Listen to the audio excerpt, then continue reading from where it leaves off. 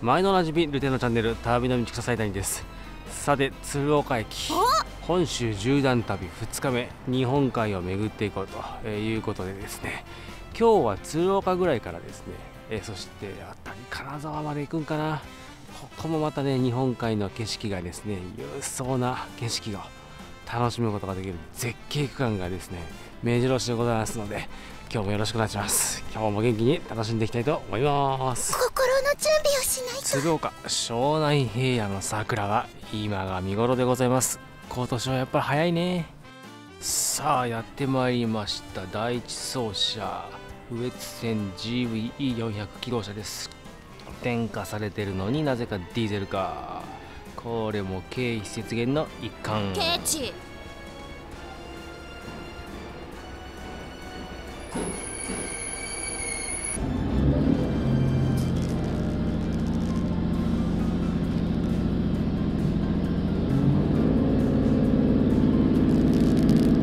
ケチってんなこと言わんといてや。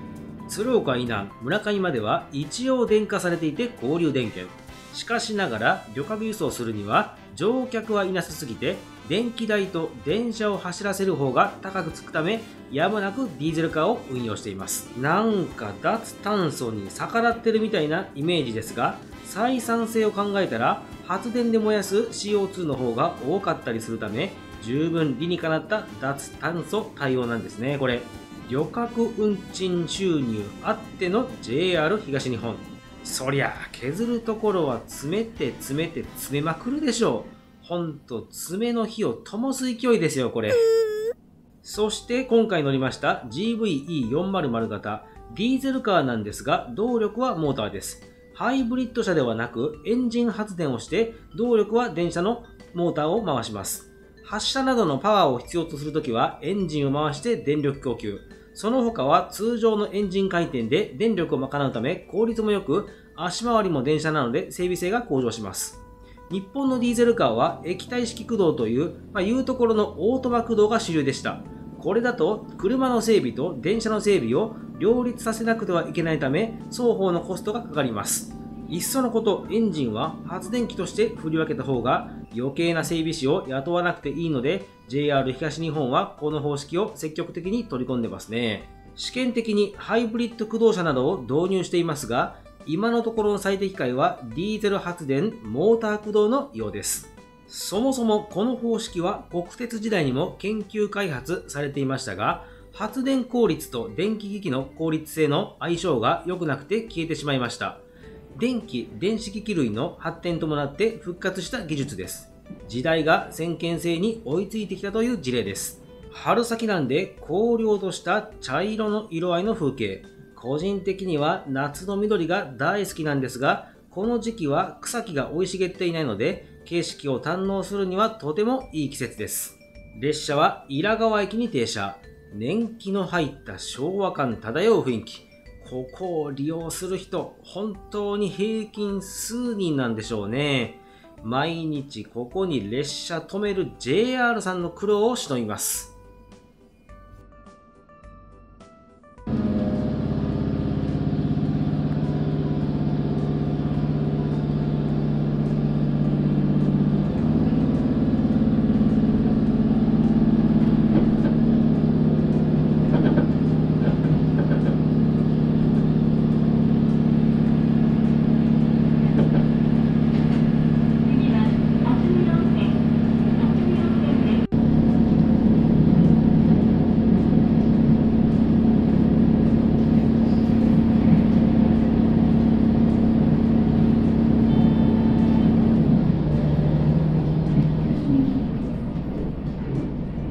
さて、羽越線はここからがハイライト。海岸線を走ります。ちょうど新潟、秋田の県境、笹川流れを楽しめる場所です。ここは祈願が多く、歩いても本当に楽しい区間。列車でビューって過ぎ去るよりも、じっくりと歩いて景色を楽しんだ方が価値ある区間です。この笹川流れ歩くんでしたらおすすめは春と秋。夏はマジでやめた方がいい。なんせ暑いから。冬もやめた方がいい。なんせ寒いから。ってお前歩くことを前提に何言うとんねんなと。ええ加減にせんかい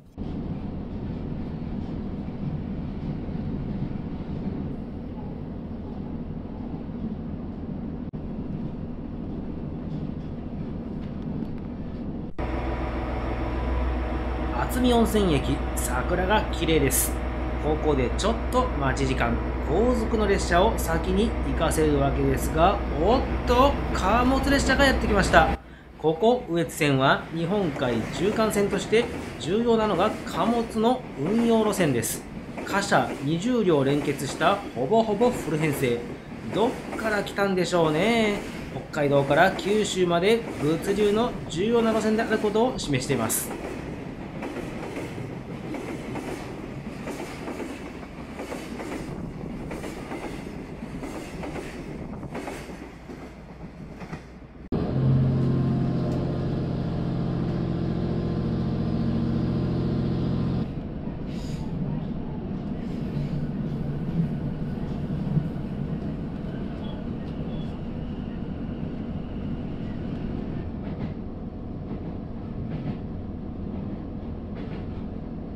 まもなく小岩川小岩川ですお出口は左側です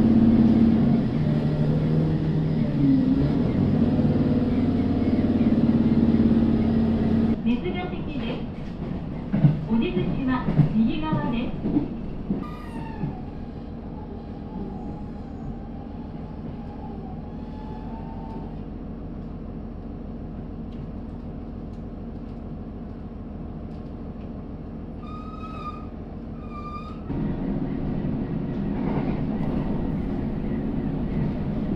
そしてここ笹川流れの名物はこの綺麗な海水をひたすら沸かして声援している方がおります。これとても美味しい塩なのでぜひともここを訪れる機会があれば立ち寄って買っていただければ嬉しい限り。実は私も買って愛用しています。とっても美味しいお塩。料理がとっても美味しくなります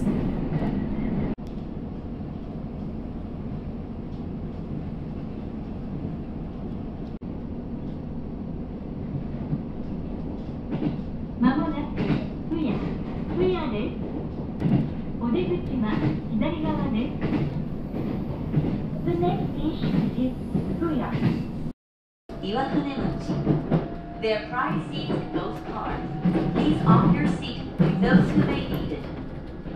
さて、海岸線を走ってきた羽越線はこれから内陸地へ。田植え前の田んぼが単調に続く景色。春うららかな日差し。ほんと眠くなってきます。村上駅で機動車から電車へ乗り換え、直流の E127 系が新潟の顔になってしまいました。さて、河川敷の桜が美しすぎます。千本桜かと思わんばかり、遥か彼方まで満開の桜並木。荒川に差し掛かりました。本当にいいものを数多く見ることができるのが在来線旅ならではです。日本海観光詰め合わせパックそのものでした。列車は坂町を出発。ここから米沢に行ける米坂線が分岐していますが、米坂線は現在災害の影響で不通。このまま廃止されるか？と思いきや、復旧に向けた協議が出されているとのことです。またまたひたすら田んぼの中を進みつつも工場がちらほら見えてきました。投資圏が近くなってきてます。胎内川を越えたら超絶大きな工場。クラレの新潟事業所です。半端ない大きさの工場。もう使われていませんが、専用の鉄道引き込み線が設けられています。物流の利便性を考えたら、鉄道線の近くに工場を作るのは自然なことです。豊富な水と利便性の高い交通手段から、かつての引き込み線跡を見ることができます。線路脇に錆びついて打ち捨てられた鉄道線を見ることができますし、中条駅は工場へ資材を送る鉄道施設が充実した作りになっていました。その名残が随所に見て取ることができます。期の荒川の桜並木を越える超絶長い桜並木がまたまた現れました。なんじゃこの延々続いてる距離。これまたすごい。ここは梶川です。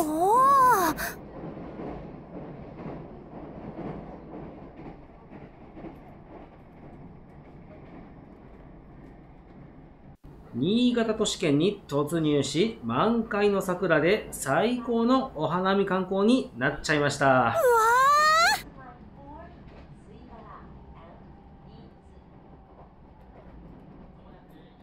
列車は越後随一の川、阿賀野川を渡ります。大きいですね。中洲が島になってます。遥か会津の山奥から流れてきた川の大きさは伊達じゃありません。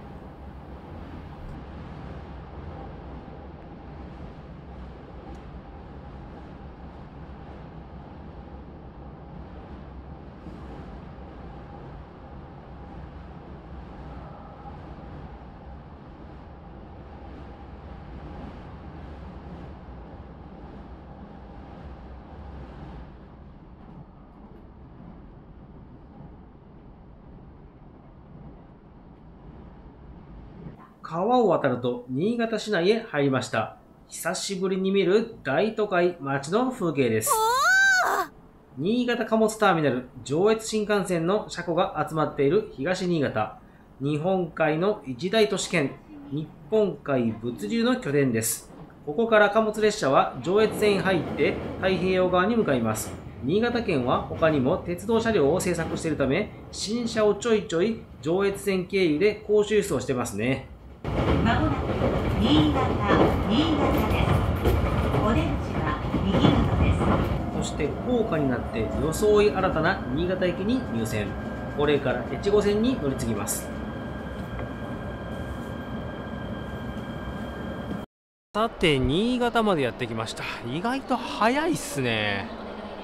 11 4時間がかかったんですけども。なんでやねん。まあスムーズにねあの乗り換え来たのでここから1号線に乗って吉田、えそして柏崎へと向かいたいと思います。まあ、この辺りって海辺見えないんですよ、えちょっと内陸地を走ってるので景色的にはねそんなにねあのうんっていうところなんですけども。またね柏崎以降直江津までがねいいところなんですよね。ここまでちょっと辛抱していきたいなというふうに思います。新潟駅で休む間もなく、越後線柏崎駅に乗り換えて新潟を出発。またまた早速満開の桜並木の美しさにうっとりとしながら日本一長い川信濃川を渡ります。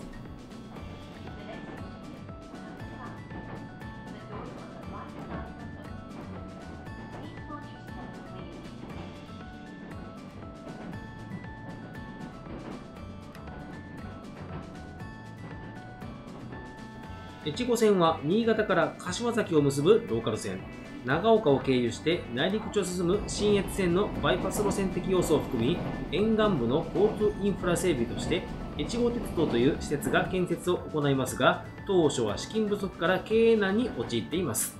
1927年昭和2年に国有化されましたが閑散とした地方ローカル線にとどまっていました。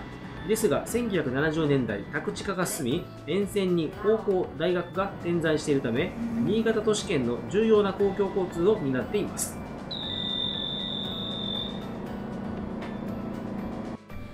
えー越後線は単線なんでこうやってですね列車交換あと時間調整でですねしばしば駅で待機します。まあのんびりしていいですよね。そしてこの内野駅で待機中。ご覧ください。新潟は今桜が一番美しい。おおすげえいいな。癒される。とはいえ新潟都市圏も吉田まで。そこから先は一気に閑散とした区間になります。ご覧の車窓のようにまた田舎感マシマシになってきました。そして越後線の面白名駅来拝駅です。なんやどっかに礼拝でもしに行かなあかんのかと思いますが二田物部神社が近くにあり礼拝所があったことから駅の名前になったんだとか知らんけど。海岸線脇からすぐに切り立った山が存在するのが特徴的な地形のため越後線は海岸線付近を走りますが海が全く見えないのが特徴です。そして何やら大掛かりな送電線が見えてきましたがこの山を越えたら東京電力柏崎カーリワ原発があるんです。そう柏崎は原発の町なんですよね。この柏崎原発7基の原子炉を備え821万7000キロワットの発電能力を持ちこれは紛れもなく世界一の出力を誇っていましたが2007年の新潟県中越地震の影響で運転停止をしましたが後に再稼働。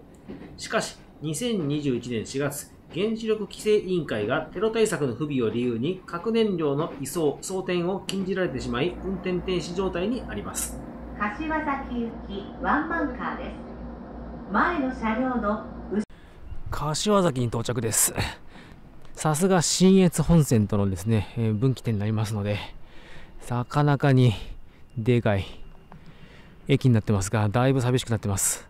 でここはね鯛茶漬けがなんか有名なんだそうでございましてですね2時前なんでね食事どころがね空いてるかどうかは心配なんですけどもちょっとねしらみつぶしに探していきたいなと思いますいやー朝おにぎりちょこっと食っただけでだいぶね腹減っちゃったんでここでしっかりとですね、栄養補給をしなきゃいけません。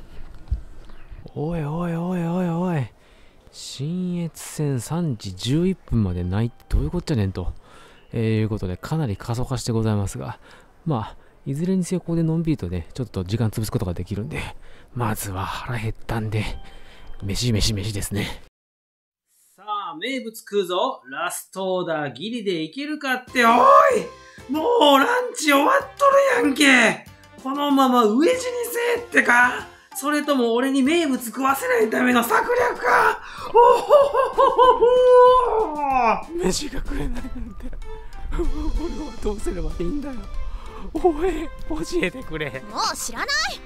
地方あるあるなんですけど本当にね食がねない。そんな。いやーこのまま直江津までちょっと抜けるのしんどいなっていう。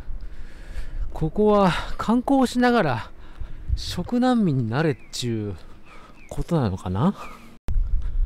腹は減ってますけどね。天気だけはねめっちゃいいっす。あか暑くもなくね寒くもなくね快適なんですよね。それだけはねいいんだよな。それ以外が問題なんだよな。で柏崎のね観光をね調べてたとしてもね海水浴場ばっかりなんですよ。今海水浴場やってもな4月の時に海水浴って聞いたことないしな。なんでやねん。しかも寒いやろ？泳げるか？っていうどういうこと話なんですよね決死の覚悟でやらないかんからね。そこまで命張ってる海とそこまで張らへんからね。ええ加減にせんかい結構観光も難しくなってきました。どうやらこの辺はいろいろとですね酒場がある。まあそういったスナック街になってます。とは言っても昼間っからスナックでね飲むわけにもいかないしな。ええ加減にせんかい。お菓子のブルボンってここが本社だったんですね。立派なビルだな。すごいすごい。腹減ってる窮状を伝えたい伝えたらブルボンの人が優しさでお菓子くれるなんてことはそんなおかしな話あるわけないやろってね。アホかもよちゅうことでねガストにします。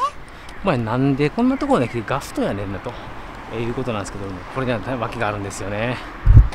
そう、金はないけど、時間はあるので、株主優待でもらった食事券使って、ただ飯ということにしました。ちょ。っと待って。そりゃ株主としてのねやっぱり権利はしっかり使っとかないとねこういう時にね助かるんですよねこういうの持ってると。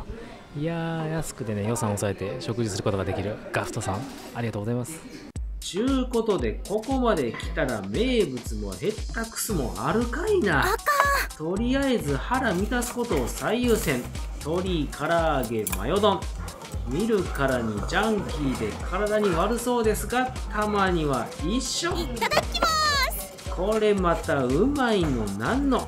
腹減った身からして究極の癒しになりました。ごちそうさまでしたいやーうまかったそりゃそうやろお前。これでまずいなんか言うたらしばがらんでって。人の金で飯食うとんねんから。あそりゃそうですよね。株主優待券で500円とね残金100いくら、えー楽天ポイントでね、えー支払ったわけですから。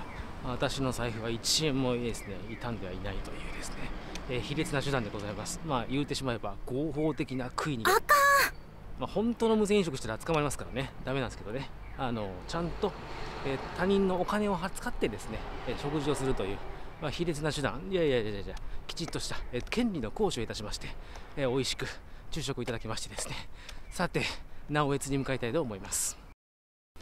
そう、こっからの信越本線はこの近江川駅。今日2日目のハイライト、ここなんですよね。めちゃくちゃ海が近い駅。JR1 海が近いんじゃないかという駅なんですけどもここ行くの楽しみなんですねぜひその景色期待しておいてくださいさてやってきました。直江津行きでございましてこれから乗るのが楽しみ。昼食を終え柏崎を出発。ここから直江津まで新越本線に入ります。ここから羽越線の土佐川流れ以来の海岸線を走る区間になりまして名物は近江川駅。ここは海と駅の距離がとても近いことで知られている駅。観光列車の星の宿ラ号では一時停車してくれる嬉しいサービス付きです。海と駅が近い場所は日本でも数少なく有名どころでは愛媛の下灘くらいですかね。ってそういや都内からすぐ行けるとこあった。鶴見線の海芝浦駅。おやってきました。線路が海岸線に近づいてきました。しかも美しいですねここは瀬戸内海かというくらい穏やかな日本海ですおやっぱ日本海は荒れ狂う冬が取れ高高いのかなと思いつつも、こういった静かな海もいいですよね。そして目的の駅、大見川に到着。観光列車が止まることをしっかりとアピールしています。いやー、噂に聞きしい駅。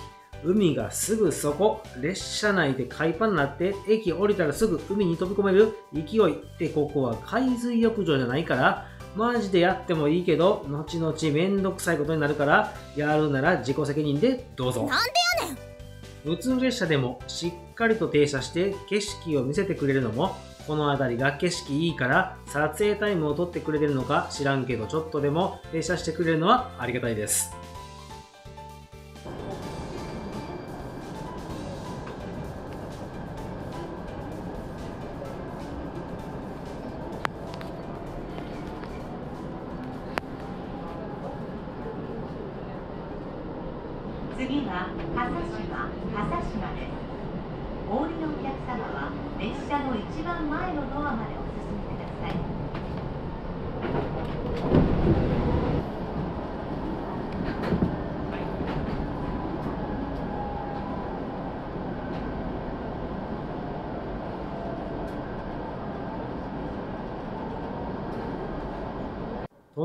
笠島駅も美しい海岸を拝めます。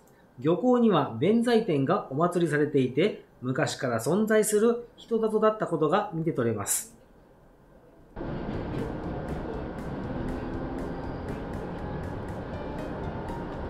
次は米山米山ですお降りのお客様は列車の一番前のドアまでお進みくださ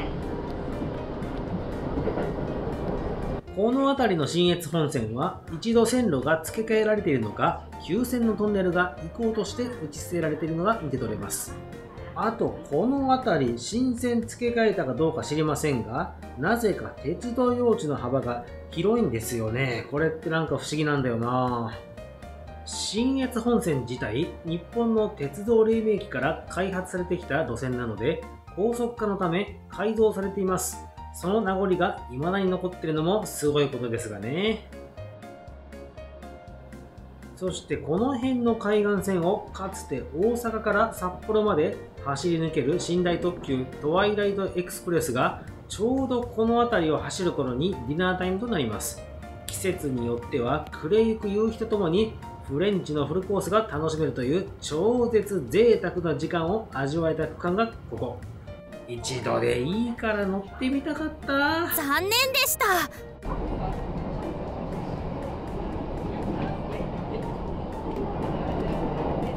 関川を渡れば上越の要衝直江津です。ここはかつて上杉謙信のお膝元春日山城跡があります。また佐渡島への航路がありここは海上交通の国道となっている珍しい区間新越線と琵琶湖のほとり北陸本線との分岐点となっている交通の拠点でしたが北陸新幹線はここをスルーしてしまったので裏寂しくなってしまってますがね。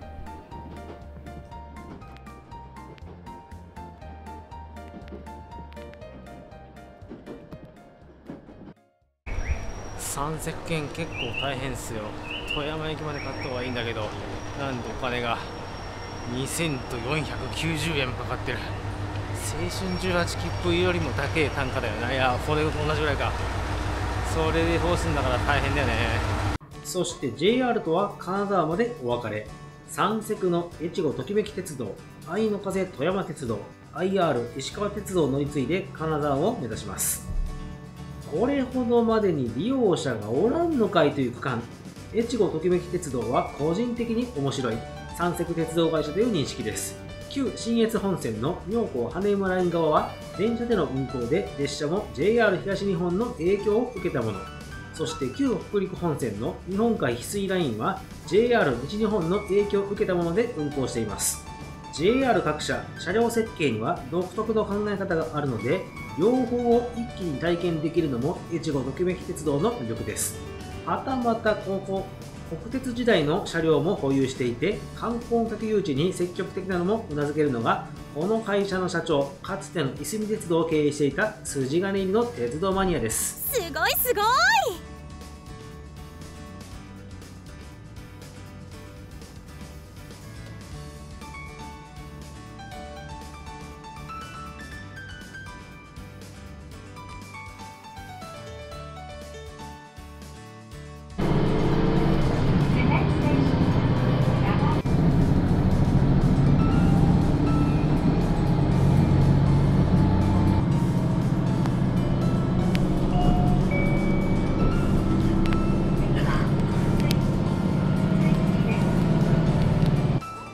日本海翡翠ライン直江津を出たら面白ポイントへ向かいます。筒石という駅がすごいんです。トンネル内なのに速度を緩めてます。あーそろそろ外に出るのね。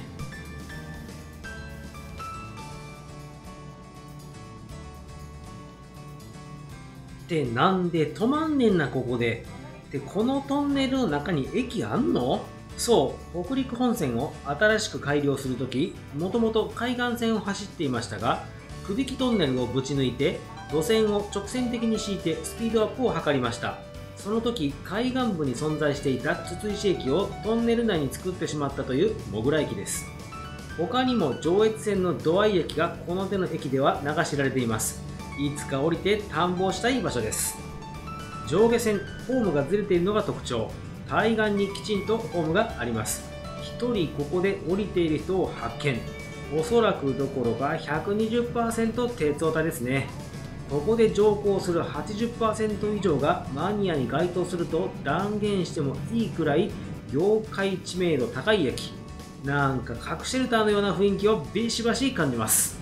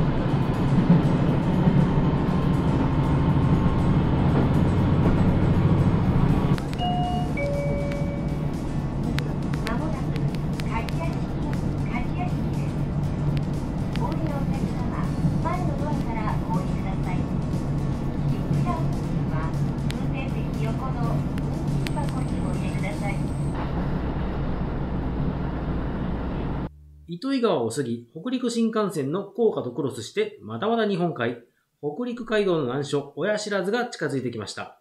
北陸地方の街道は海岸線を行くのですが、この周辺は大変急峻な崖が海岸線に迫っていて、日本海波かぶりの危険な場所。ここを歩いていたら波にさらわれた人が多数。気がついたら親がいないということで、このような地名がついているとのことです。今では海岸線に北陸自動車道を作ってしまってるんだから人が作り出す技術の進歩は半端ないことを教えてくれる場所です再び海岸線を走ります北陸本線は3社の第3セクターに分かれていますが日本海縦貫線として JR の貨物列車が通る重要な場所三セク各社の重要な収入源となっていますので、線路も高規格、とても乗り心地がいい場所です。海の先には高いクレーンを備えた船が浮かんでいますが、一体何なんでしょう？地質の調査でしょうか？はたまた資源の探索でしょうか？この辺少ないんですけど、石油資源が掘削されてるからな。まあどうでもいいんですけど、想像をかき立てる船ですね。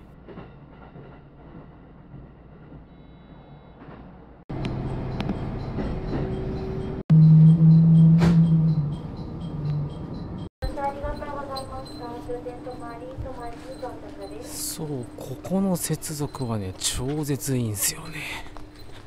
でねこっからね JR 西日本のね、まあ、要は植民地的な感じになるんで座席のねクオリティがねぐっと上がるんすよね。転換クロスシートちょっとねリクライニングできてふかふか。これがまたいいんだよな。乗車します。泊駅でお次の愛の風富山鉄道に乗り換えます。同一ホームでの乗り換えはとても便利。そしてここから本格的に JR 西日本の影響力が強い場所になりますので、車両もさることながら内装も JR 西日本そのものに乗り心地が一気に向上します。JR 東日本は絶対に転換クロスシート車両を導入しませんからね。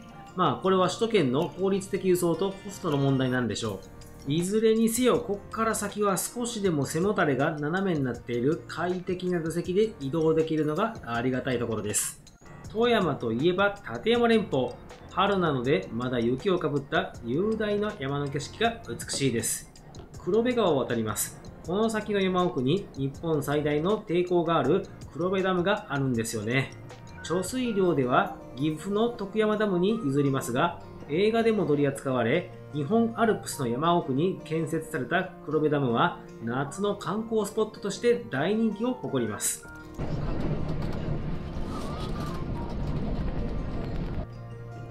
富山の魅力は雄大な山の景色。いつまでも見ていられるのがすごいです。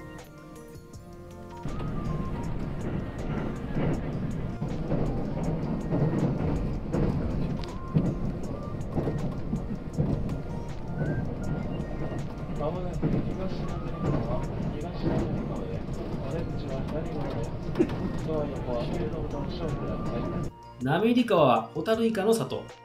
水揚げ量は兵庫県が最大なんですが、富山湾で育ったホタルイカの味は最高です。ちなみにこの辺りではタモ網ですくって取れるくらい浅瀬まで押し寄せるんだとか。すごいすごい次は富山、富山です。富山駅が近づいてきました。主要駅には車両基地が備え付けられています。お JR 東海の新型キハ HC85 がおるやないかい。ここは岐阜へつながる高山本線との分岐点です。そして豪雪地帯でもあるので除雪の設備は充実しています。結